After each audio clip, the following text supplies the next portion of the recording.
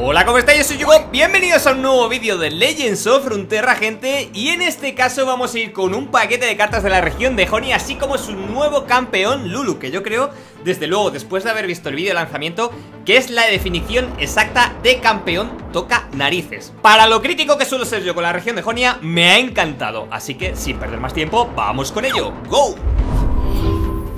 Bueno, en primer lugar vamos a echar un rápido vistazo a las cartas que nos dejaron ver en el día de ayer Ya que obviamente también forman parte de la región de Jonia y tienen sinergias con la propia Lulu. Tenemos en primer lugar Chiquilla de las Flores por 1, 1, 2 Que cuando cuento con apoyo consigo más 2, más 0 Ojito gente, muy interesante esta carta Se puede bostear muchísimo y tiene 2 puntos de vida Lo cual es muy útil para darle más supervivencia en mesa. Luego tenemos por 4 un 3-3 Guardián Peludo que cuando cuenta con apoyo recibe más 0 más 3 esta ronda, ¿vale? Y con apoyo concede más 3 más 0 al aliado al que apoya si os dais cuenta, son cartas que en general tienen muy buena sinergia con lo que hemos visto en el vídeo anterior, ¿no? De la nueva región de Targon y Tari. Y con el Guardián Peludo la podemos liar bastante, porque él mismo se hincha defensivamente, pero también es capaz de hinchar ofensivamente a otras unidades. Luego tenemos la Ardilla Mazada, aunque debo decir que en mi cabeza, gente, cuando vi esta carta y cada vez que la veo, eh, yo leo ardilla mamada. No sé si a alguien más le pasa, pero desde que compartisteis esta expresión conmigo en los directos Yo es que leo esta carta ardilla mamada Así que lo voy a llamar con vuestro permiso Ardilla mamada, que es por 4 un 3-3 que al golpear su poder se duplica. Por lo tanto, gente, recordemos que golpear se puede hacer también bloqueando Se puede hacer forzado con hechizos. No necesitamos necesariamente que esté atacando. Y entiendo que al duplicar su poder podemos tirar cualquier bonificador que aumente su ataque y una vez haya golpeado este se doblaría. Pero la verdad es que tengo mis dudas y falta por ver esto en la práctica. En cualquier caso me parece una unidad tochísima. Luego tenemos Bruja Joven, ¿vale? Por coste 2, 1-1-1 con ilusión, nueva unidad con ilusión para Jonia, no podía faltar Que con apoyo concede ataque rápido y más 1 más 0 al aliado al que apoye esta ronda es importante porque tengamos en cuenta que las propias unidades que hemos estado viendo, ¿vale? Muchas de ellas tienen mecánicas eh, a favor de recibir el apoyo. Así que ya no solo es que les esté dando el más 1, más 0 y ataque rápido Sino es que van a sacar otros beneficios.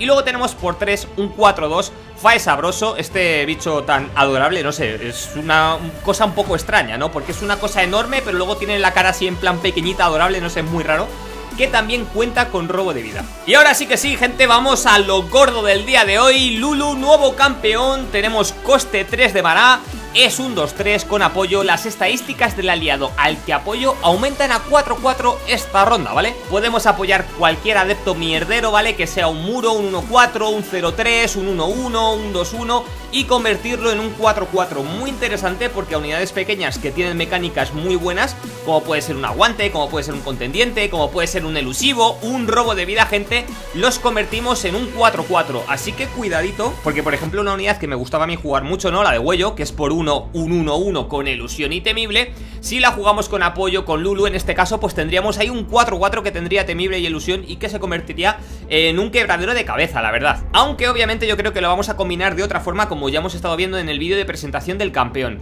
¿Vale? Para subir de nivel necesitamos que nuestros aliados hayan recibido apoyo tres o más veces eh, Relativamente muy sencillo, gente con todas las cartas nuevas que van a entrar. Si conseguimos mejorar a Lulu, pasaría a ser un 3-4, que a comienzo de ronda crea un ayuda, Pix. Y además tiene que cuando apoya a un aliado, ¿vale? Las estadísticas del aliado aumentan a 5-5 esta ronda, ¿vale? Seguiría haciendo el mismo efecto que tenía antes de ser mejorada, pero en lugar de un 4-4, un 5-5, muy interesante. Y ahora sí que vamos con el ayuda Pix, que es fugaz, como ya había comentado, es ráfaga y lo que hace es que concede barrera a un aliado o vulnerable a un enemigo esta ronda. No se puede lanzar en combate ni como respuesta a un hechizo, ¿vale? Lo podemos jugar obviamente como ráfaga, no nos va a consumir esa acción, pero tenemos que hacerlo antes de los efectos, no podemos hacerlo en reacción a los efectos.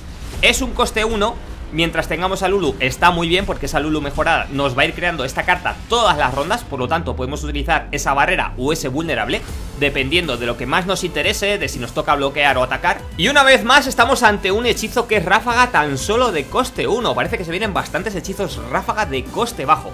Luego tenemos Banal de Lulu, ¿vale? Que es un hechizo de ráfaga, coste 4 Que transforma a un adepto en ardilla 1-1 y lo silencia esta ronda. Añade un Lulu al mazo Me encanta esta carta, es un polimorph en toda regla, transformamos lo que queramos en un 1-1 y lo silenciamos, ¿vale? Solamente esta ronda, gente, pero es que si lo conveamos con el ayuda Pix que da vulnerable, cualquier cosa mierdera que tengamos en la mesa va a ser capaz de matar ese bichaco con la combinación de estos dos hechizos de ráfaga. Así que, ojito con Lulu, pero yo creo que cuando lo tengamos en mesa es un más kill, ¿vale? Eh, todo lo que tengamos, que podamos quitarnos del medio este campeón, yo creo que nos va a interesar tumbarlo para no dejarle hacer todo este juego.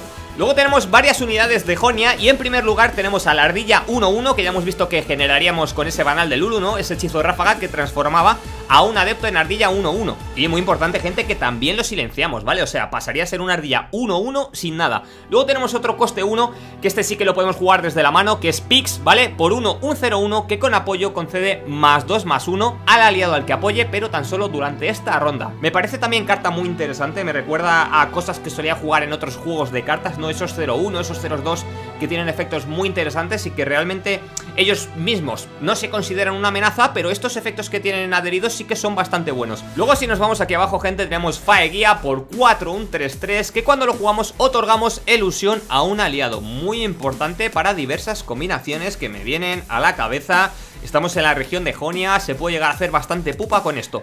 Y por último tenemos aplastador sobresaltado Que por 2 es un 2-3 con abrumar. Si os dais cuenta esta última carta es de Targon, no pertenece a Jonia y la verdad que muy interesante tener una unidad pequeñita con Abrumar, difícil de matar porque tiene esos tres puntos de vida y que podemos llegar a inflar con cualquiera de las nuevas cartas que estamos viendo que nos pueden conceder efectos, ¿no? Para aumentar ese daño y conseguir que con ese Abrumar otra vez pues pase más pupita al nexo. Por mi parte, nada más que deciros, gente, si Tarik ya me ha gustado, debo decir que Lulu también me mola muchísimo las mecánicas que va a traer, me parece algo súper fresco para el juego y muy necesario.